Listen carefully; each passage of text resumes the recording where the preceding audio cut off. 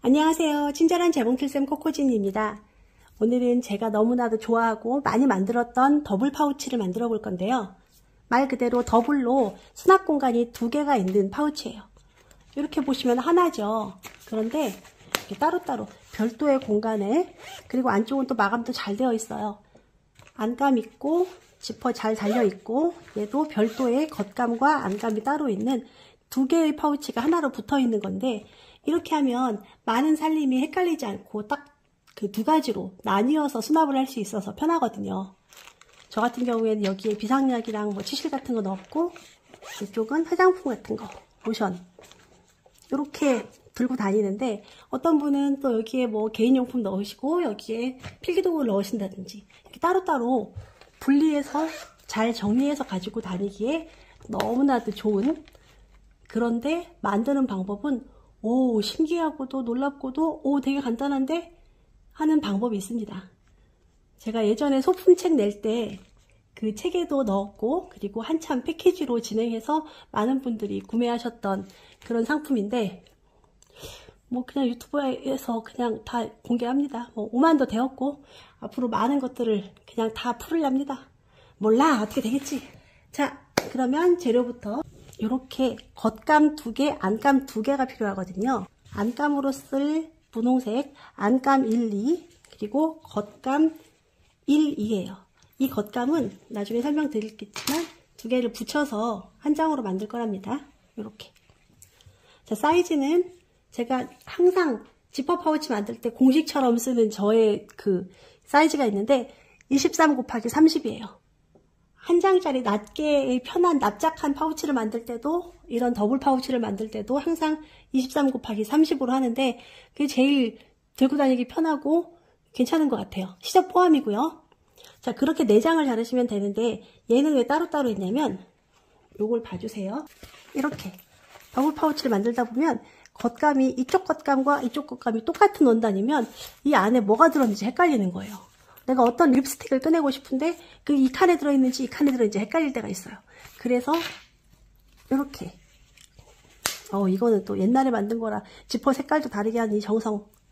이렇게 따로 따로따로 색깔을 정리를 하면 아 이 안에는 뭐 들어있고 이 안에는 뭐 들어있다 해서 열기가 편해서 이렇게 색깔로 구분을 하기 위해 겉감 1은 원단 두 개를 나눠서 쓴다는 거. 자, 그래서 얘네들은 길이가 30이지만 반짜리면 15지만 얘네들이 같이 겹쳐서 박아서 시접 일식 없어질 거기 때문에 23 곱하기 15가 아니라 이건 16입니다.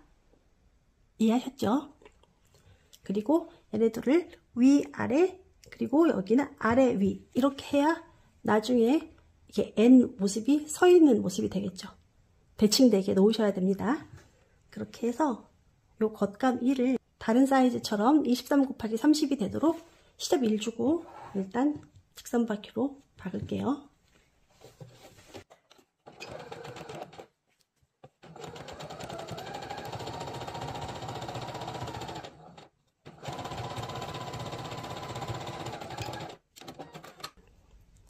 이렇게 받고 나서 여기 시접은 다리미로 갈라주세요.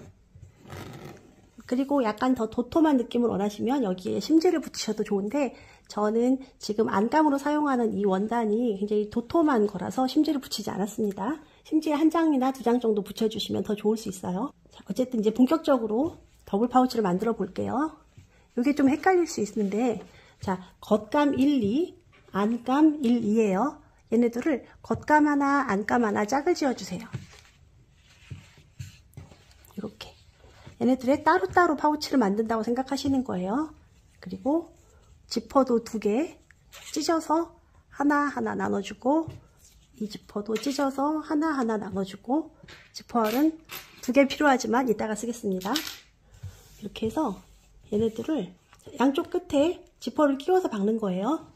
그런데 제가 최근에 파우치 만드는 영상에서 이 창구멍을 안쪽에서 만들어 놓고 공그르기를 하지 않고 이쪽, 요 입구 쪽에 만들어 놓고 나중에 상침해서 딱 공그르기 안 하고 하는 거 보신 분 있으시죠? 저 위에 카드 올려 드릴 테니까 그 방법으로 하시면 굉장히 빠르고 좋아요.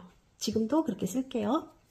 자, 여기 겉감 위에 지퍼를, 지퍼 2가 겉감을 향하게 보여주고 지퍼이가 밖을 아니고 안쪽을 쳐다보게 이렇게 놓습니다. 그렇게 놓고 안감은 아직 박지 마시고 이렇게 지퍼 노루발로 바꾸셔야죠. 그리고 가운데 한 10cm 정도만 이만큼 정도만 안감 없이 겉감이랑 지퍼만 따로 제공을 할게요.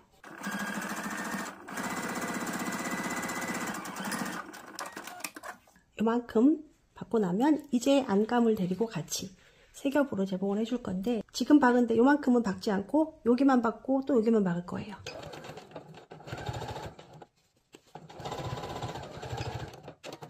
이만큼 끊어주시고 다시 쭉 지나가서 창구멍을 어차피 공그르기 안 하고 박을 거니까 좀 크게 남겨주시면 나중에 뒤집을 때 편하고 좋죠. 이렇게 했으면 나머지 부분 그러니까 자, 겉감이랑 안감 사이에 지퍼를 끼워서 엎어놓고 제봉하는 거 하나, 둘, 세 개 반복해 줍니다.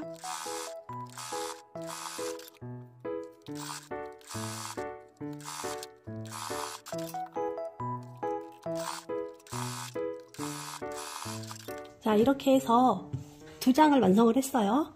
근데 여기까지는 따로따로 각각의 지퍼 파우치랑 똑같아요. 우리 원래 이렇게 하죠. 지퍼알 끼우고 겉감, 안감 이렇게 놓고 이렇게 뚜루룩 박으면 그냥 우리가 일반적으로 만드는 사각 지퍼 파우치가 되는데 얘는 두 겹이니까 이렇게 합니다. 잘 보세요. 하나는 그냥 두시고 하나만 뒤집어 줄게요. 그리고 이 사이에 얘를 끼워 넣는 거예요. 이때 겉감일과 겉감이가 마주보고 안감일과 안감이가 마주보게 이렇게 넣어줄게요. 그러면 양쪽 끝에 지퍼가 만나게 돼요. 이렇게 겉감 쪽에서 보면 우리가 지퍼를 잘 박았다면 이렇게 겉감 쪽에서 지퍼 2가 우리를 보고 있을 거예요. 이때 여기서 지퍼 알을 끼워줍니다. 자, 하나 끼웠고요. 빠지지 않을 만큼 저 끝까지 넣고 그 다음에 지금 지퍼알을 이쪽 방향에서 끼웠으면 반대쪽 지퍼는 이제 얘는 이쪽에서 엇갈리는 쪽으로 열리게 자 여기 보세요 얘네들 지퍼가 이렇게 열리고 이렇게 열리죠 그거보다는 하나는 이쪽에서 열리고 하나는 이쪽에서 열리게 해도 좋습니다 근데 이거는 뭐 개인적인 취향 따라 하시는데 저는 반대 방향으로 자주 끼워요 아 근데 중요한 거 아니에요 지퍼 키가 안 맞았다면 잘라서 키를 맞춰주세요 저는 많이 끼워봐서 지퍼 키를 안 맞아도 맞춰가면서 끼울 수 있어서 그냥 안 자르고 하는 겁니다. 한단 차이 나게 원단 원단 키가 딱 맞게 이렇게 지퍼를 끼웠습니다. 자 이제 가장 핵심적인 팁이 나옵니다. 어떻게 만드는 것이냐? 지퍼알을 끼우고 나면 얘네들이 붙어있는 한 장짜리 원통이 되어요. 그쵸? 여기서 자 테두리를 이쪽 오른쪽 옆면 테두리 원통 한 번, 왼쪽 원통 옆구리 한번 이렇게 두 번만 돌려서 박으시면 끝이에요. 다 한 거예요. 자 해볼게요. 지퍼 밟고 지나갈 때 동시에 찌그러지지 않게 딱 맞추고 이렇게 가야겠죠. 시접 1 주고 받고 그 다음에 시접을 자르셔도 되고 그냥 하셔도 되고 처음부터 0.5만 주셔도 되고 뭐 상관없습니다. 풀리지 않을 만큼만 하시면 되는데 지퍼 노루발에서 일반 노루발로 바꾸고 할게요. 그리고 예전에 얼마 전에 올렸던 영상에서 보신 것처럼 기왕이면 지퍼 시접은 안감 쪽으로 두 개 나란히 이렇게 보내도록 하고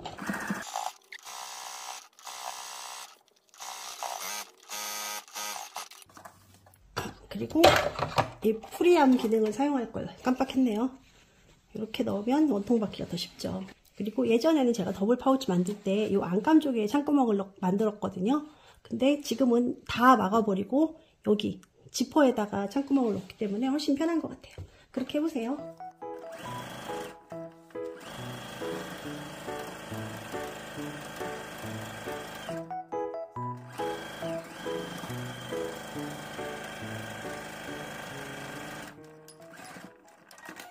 다 했어요. 너는 잠깐 쉬어라. 짠! 자, 뒤집어 볼게요. 그런데 뒤집기 전에 제가 지금 지퍼 길이가 조금 길어서 옆에 튀어나와서 이것만 조금 자르고 풀리지 않을 만큼만 지퍼가 빠지지 않을 만큼만 하지만 너무 뭉툭해지지 않게 여기만 조금 잘랐어요. 창구멍으로 뒤집어 봅니다. 이렇게 뒤집고 나면 안감부터 보이더라고요. 근데 얘를 안감을 안쪽으로 넣을게요.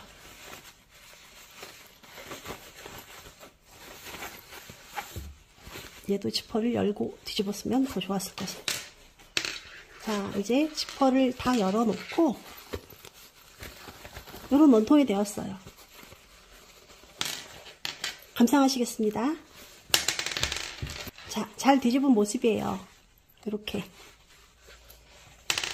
보세요. 겉감 1, 겉감 2, 그리고 안감 1, 2.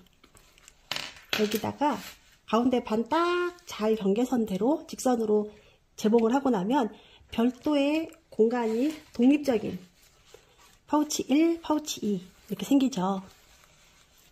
너무 예쁜 것 같아. 자 이제 남은 작업을 해볼게요. 여기 반 딱 재봉하는 거랑 여기 창구멍 막는 거랑 이렇게 반을 선을 그어서 재봉을 딱 해주시면 좋고요. 반씩 나누지 않고 이렇게 약간 층을 져서 나눠서 한쪽은 약간 부피가 적고 한쪽은 더 넉넉한 공간이 될 수 있게 이건 개성대로 편하시게 이렇게 마음대로 구성하셔도 좋습니다만 저는 딱 반 잘라 볼게요. 예전에 창구멍을 안에다 만들 때는 이걸 받고 나서 공그르기 하기가 되게 힘들고 귀찮았거든요. 근데 지금은 너무 편한 것 같아요.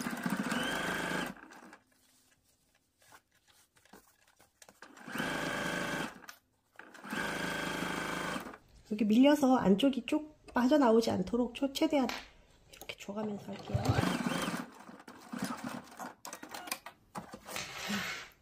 그리고 다시 왼오르발로 바꿔서 여기 겉감, 안감 모두 잘 밟을 수 있게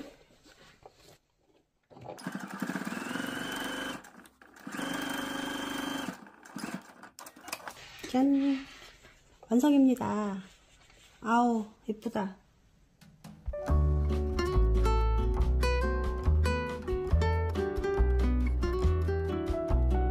이렇게 티단추까지 달고 더블 파우치 완성했습니다. 이렇게 보시면 아시겠지만 예쁜 건 두말할 나위도 없고 사용하기가 너무 편리해요. 따로따로 부분 지어지고 그리고 부피도 크고 그리고 무엇보다 만들기가 생각보다 간단하지 않습니까? 아, 정말 잘 생각한 것 같아 어쨌든 이게 선물하기에 되게 좋은 아이템이거든요. 여기에 따로따로 뭐 화장품 약간 그리고 여성용품 약간 이렇게 넣고 다니면 훨씬 더 편하다라는 멘트와 함께 3월도 되고 했으니 신학기 맞이 아이들이나 다른 엄마들 만나실 때 선물로 주시면 더 좋을 것 같습니다. 자 그러면 코코지니 채널 좋아요, 구독, 알림 설정 다 해주셨을 테니까 옆에 친구분들한테도 많이 많이 알려주시고 많이 키워주시기 바랍니다. 저는 더 알차고 재밌고 좋은 영상으로 또 오겠습니다. 감사합니다.